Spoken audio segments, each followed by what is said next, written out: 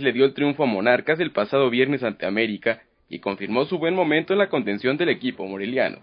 En su partido 300 como futbolista de primera división, el Recodo festejó doble al conseguir con su anotación tres puntos muy importantes para abandonar la sequía de victorias y el ambiente tan pesado en las últimas semanas.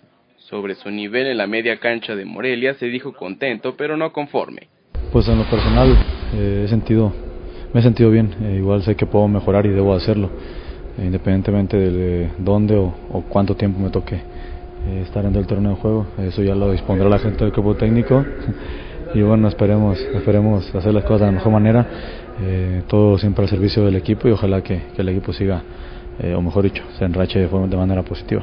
Fútbol que ha desarrollado Valdés en la contención y ofensiva purépecha le da para pensar en un llamado a la selección mexicana, algo que no quita de su mente y espera que llegue con dobles esfuerzos. La gente que técnico, Miguel Herrera está hablando de ellos y, su gente es quien, quien toma ese tipo de decisiones. Eh, yo estoy poniendo todo lo que esté a mi alcance y un poco más para, para tratar de conseguir eh, ese sueño, esa meta que, que está. Eh, como tú dices, es muy complicado, independientemente por los tiempos, también por la calidad de los jugadores que están o que han sido llamados. Pero bueno, yo trataré de poner todo mejor hecho, pondré todo para, para tratar de, de conseguirlo y bueno, esperemos Nunca ha vestido la camiseta tricolor y aunque para él luce complicado portarla en Brasil 2014, acepta que recibir el llamado de Miguel Herrera es su máximo sueño.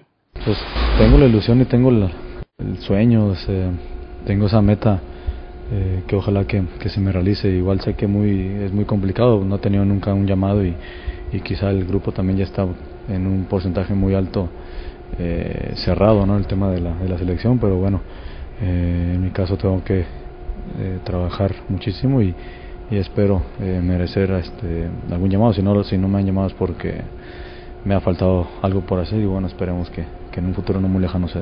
Aunque quiere ganarse un puesto en el combinado nacional, Recodo Valdés no se distrae y enfoca sus esfuerzos en Pachuca, próximo rival de Monarcas.